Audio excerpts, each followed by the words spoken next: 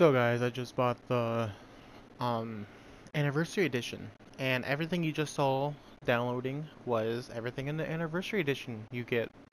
So yeah, I hope y'all like that